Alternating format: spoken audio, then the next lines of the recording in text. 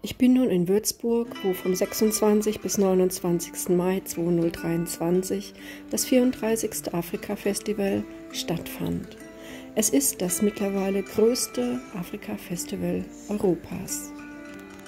Und für mich das schönste Afrika-Festival, was ich in Deutschland oder in Österreich bisher sehen konnte. Bei diesem Afrika-Festival gibt es eine offene Bühne, wo regulär jeden Tag viele Künstler und DJs auftreten. Ebenso gibt es eine geschlossene Bühne, wo verschiedene Künstler mit einem speziellen Ticket äh, besucht werden können.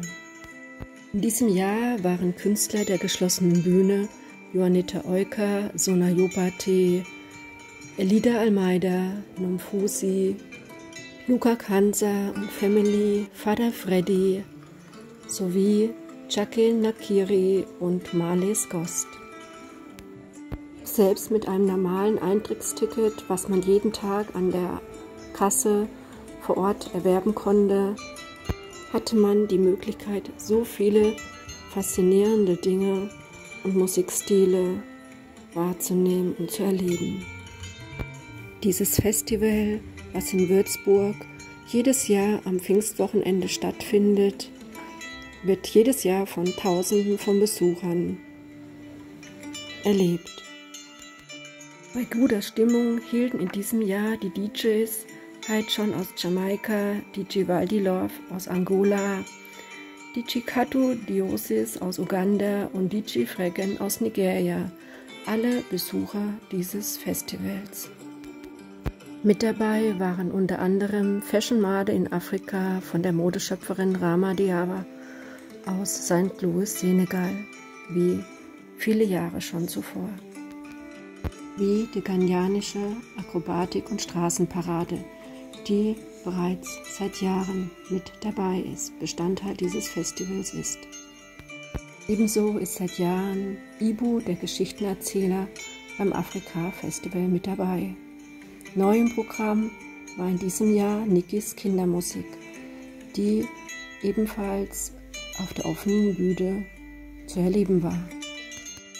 Künstler der offenen Bühne war in diesem Jahr Ludmilla Macaron aus Santiago de Cuba, Tabile aus Südafrika, Melanie und Bent, die afro-deutsche Sängerin mit kongolesischen Wurzeln, Goizani aus den Kapverden, Hervé Sam von Dakar, Nina Ogot von Kenia sowie Seni Kamara aus Senegal und Kendi Guerra von Burkina Faso. Das gesamte Musikprogramm war wieder einmal erste Sahne. Es war erstklassig zusammengestellt. Für jeden Geschmack, denke ich, wieder etwas dabei. Es waren ganz verschiedene Musikrichtungen und Stile um, zu erleben weit ich das überhaupt beurteilen kann, denn ich komme gerade einmal seit 2018 zu diesem fantastischen afrikanischen Festival in Würzburg, das ja, wie gesagt, schon zum 34. Mal stattfand. Und ich sehr beeindruckt davon bin, immer wieder Menschen zu begegnen bei diesem tollen Festival, die bereits seit 10, 20 oder bereits über 20 Jahren jedes Jahr dieses fantastische Festival besuchen. Dieses Jahr prägte das Festival das Motto der Sängerin Nule Dube aus Südafrika, Tochter von Lucky Dube, Different Colors on People. Moderatorin dieses fantastischen Festivals ist wie schon seit einigen Jahren Sarah die das äh, ganz äh, vorzüglich macht und alle mit ihrer Art und Weise sehr begeistert. Anlässlich des 10. Todestag von Nelson Mandela in Südafrika liebevoll Madiba genannt, zeigte man noch einmal Fotos von diesem Mann. Diese wurden von den international bekannten Fotografen Jürgen Schadeberg gemacht der leider bereits 2020 verstorben ist. Niemand hat die Fotogeschichte Südafrikas stärker geprägt als er. Wie bereits seit Jahren immer wieder dabei, Arte Open Air Kino. Auch hier konnte man wirklich ähm, ein aufschlussreiches Programm erleben, da es einige Dokumentarfilme der verschiedenen Bereiche aus Afrika zu sehen gab. Fehlen durfte natürlich auch nicht dass Organisationen wie Ärzte ohne Grenzen, Umbili, Ein Herz für Kenia oder Barb Schildren Foundation über Arbeit aufklärten. An all der Fülle dieses doch ähm, großartigen Festivals in der Programmgestaltung ähm, konnte ich mir meine eigenen Eindrücke noch von diesen vielen Dingen machen, die ich bei diesem Afrika-Festival sehen konnte. Es wurde bei diesem Festival wirklich vieles angeboten, von Naturprodukten wie Seifen, Cremes, Tees aus Afrika, vielen Stoffen, Handarbeiten, künstlerisch gestalteten Werken aus Metall, Holzschnitzereien, äh, Skulpturen, die wirklich äh, sehr einzigartig in ihrer Art und Weise Herstellung waren. Ebenfalls Produkten aus recycelten Materialien.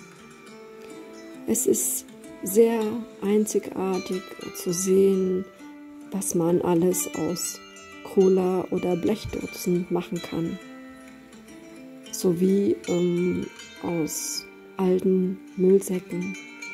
Es ist einfach faszinierend für mich, all das zu sehen, was Menschen in Afrika aus diesen Produkten machen können.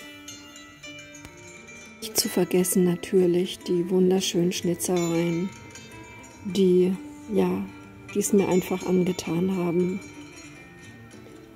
Bei diesem Festival gab es auch wieder Projekte zu sehen von verschiedenen gemeinnützigen kleinen Projekten in Afrika, die mit den verschiedensten Nähtechniken äh, einfach äh, ihren Lebensunterhalt verdienen.